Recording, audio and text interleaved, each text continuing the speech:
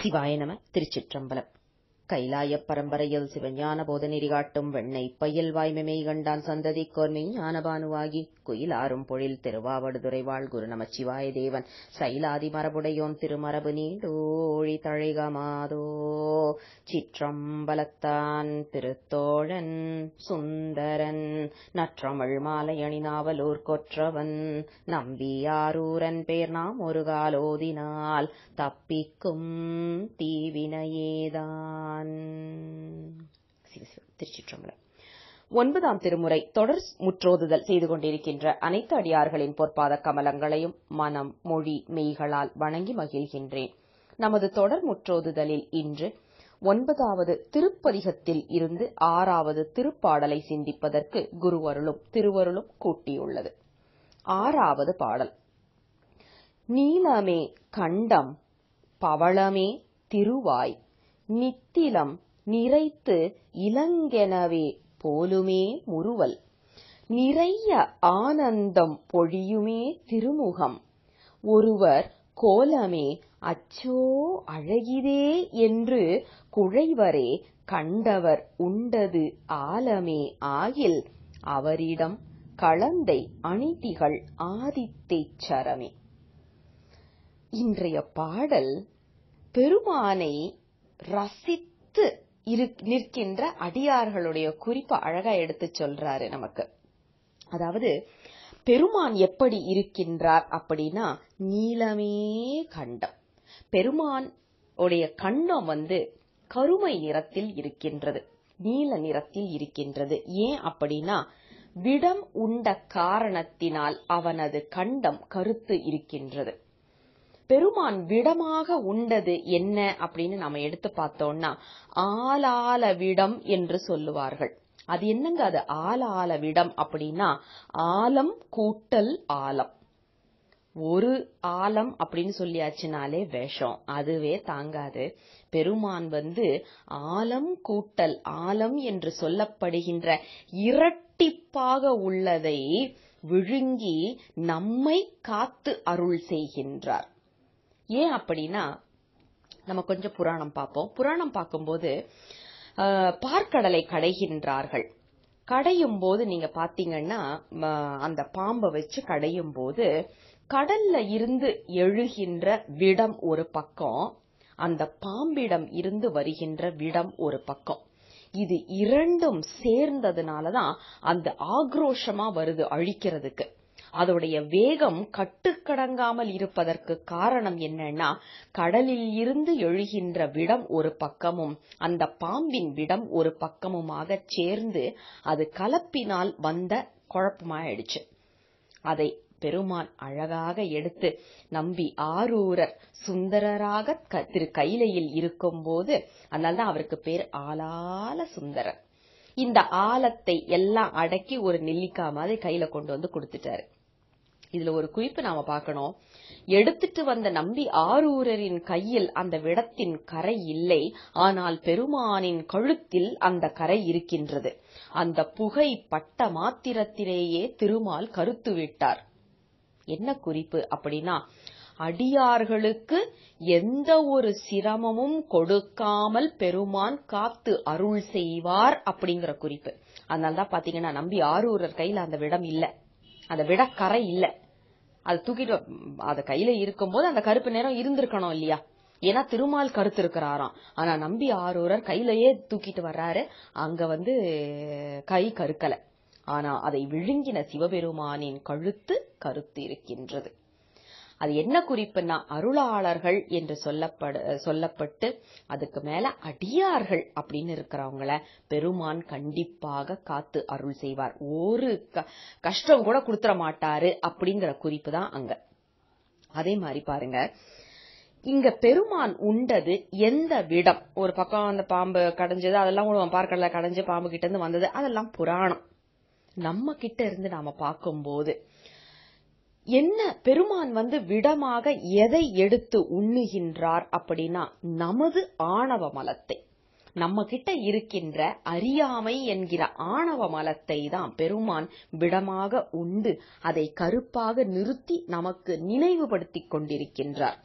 நமக்கு சோணசைல மாலையில கற்பனை களஞ்சியம் சிவபிரகாச சுவாமிகள் ஒரு பாடல்ல சொல்லுவாங்க நம்பி அதாவது பெருமான் வந்து பா- விடக்கரை உண்டு அவருடைய கண்டம் கருத்து இருக்கு.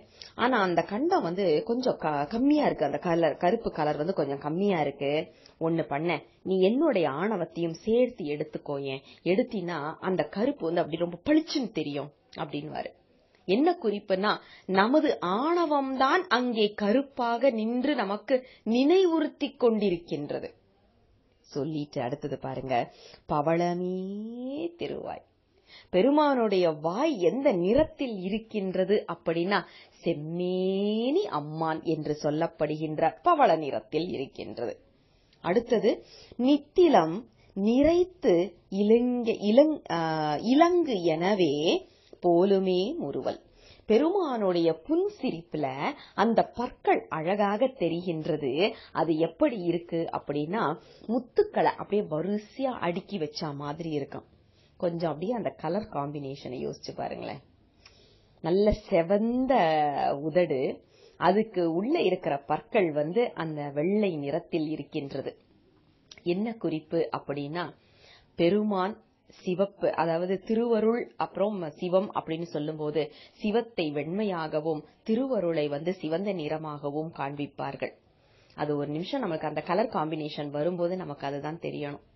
எப்படின்னா பெருமான் நம்மிடம் வந்து நமது மயக்கத்தை தீர்த்து அருள் செய்கின்றார். அதற்கு எப்படி வரு- வருகின்றார் அப்படின்னா திருவருளோடு வருகின்றார். அதனாலதான் அங்கே பவளமே திருவாய் நித்திலம் நிறைத்து இளைஞனவே போ- போலுமே முறுவல் அப்படின்னு சொல்லிட்டு நிறைய ஆனந்தம் பொழியுமே திருமுகம்.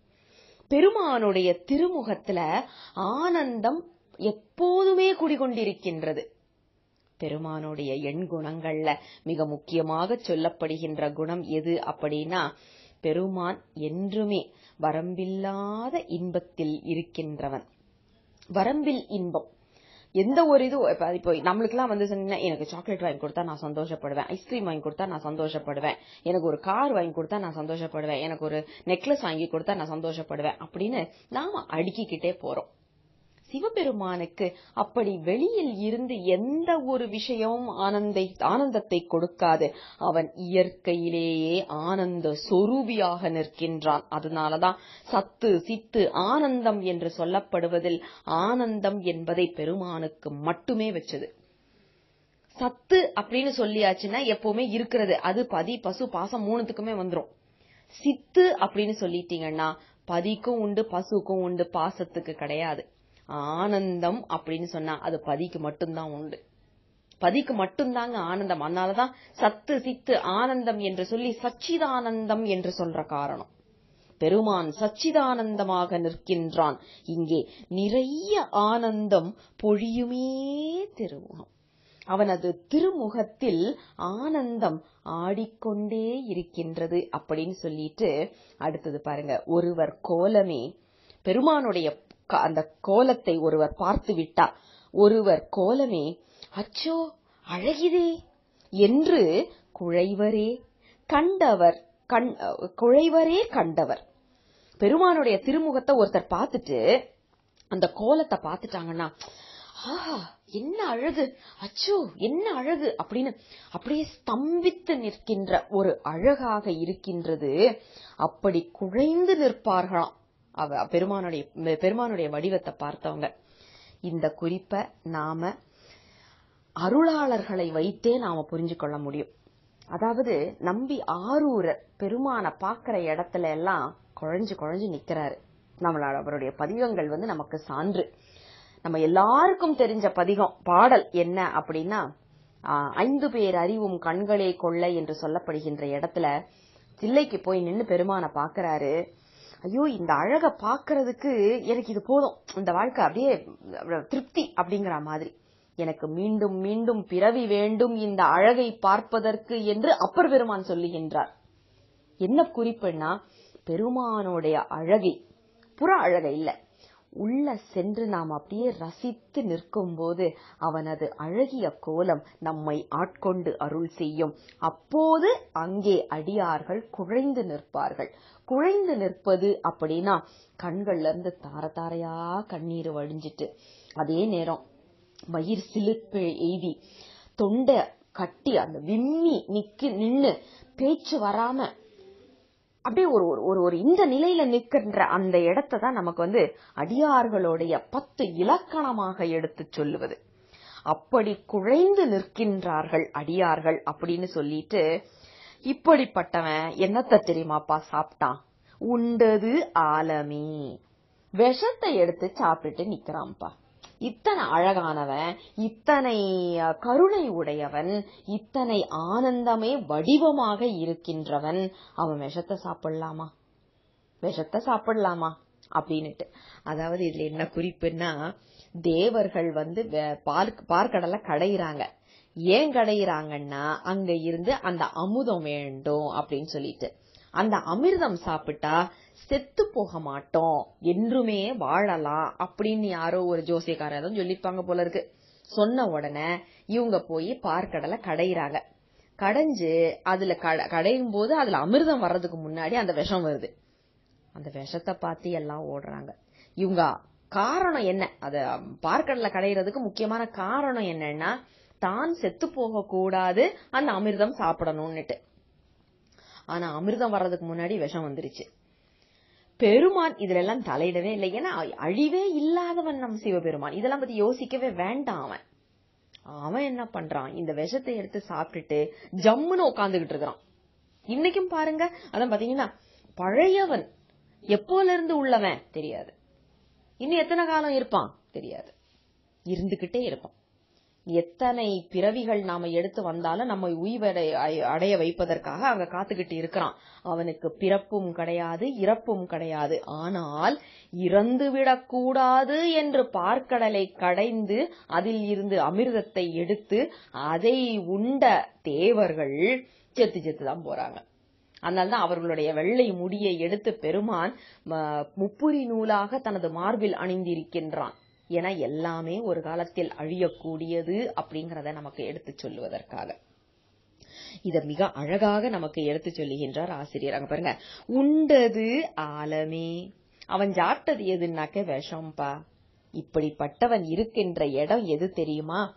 களந்தை என்று சொல்லக்கூடிய இடத்தில் அழகு நிறைந்த ஆதித்தேச்சரம் என்ற திரு ஆலயத்தில் அருள் பாலித்துக் கொண்டிருக்கின்றான் எம் சிவபெருமான். எப்படிப்பட்டவன் அப்படின்னா கண்டம் கருத்தவனாக உதடுகள் சிவந்ததாக முத்து போன்ற பற்கள் உடையவனாக என்றுமே ஆனந்த சொரூபியாக நின்று அருள் பாலித்துக் கொண்டிருக்கின்றான். அங்கே வந்தவர்கள் அவனை பார்த்த மாத்திரத்தில் குழைந்து நிற்கக்கூடிய அந்த அருள் தன்மையை வழங்கிக் கொண்டு நிற்கின்றான். நாமளா வந்து குழைய முடியுமா? அப்படின்னா முடியாது. அந்த குழைவை கொடுப்பதும் சிவபெருமான் தான். நாம குழைஞ்சு நிக்கிறோம் இன்னைக்கு அப்படின்னா அதை அருள் செய்வதும் சிவபெருமான் என்ற அந்த குறிப்பை மிக அழகாக சொல்லி அருள் செய்கின்றார் ஆசிரியர். தென்னாடுடைய சிவனே போற்றி எந்நாட்டவர்க்கும் இறைவா போற்றி. சிவசிவ திருச்சிற்றம்பலம்.